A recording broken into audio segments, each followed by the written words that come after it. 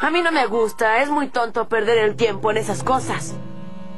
Pero a veces incluso a un Pokémon le gusta verse y vestirse bien como a todos nosotros. ¿Verdad, Pikachu? Ya lo estoy viendo. Creo que Pikachu está perfecto como es. No necesitamos de modas tontas. Lo que hay dentro es lo que realmente cuenta. Yo nunca dije que no fuera importante.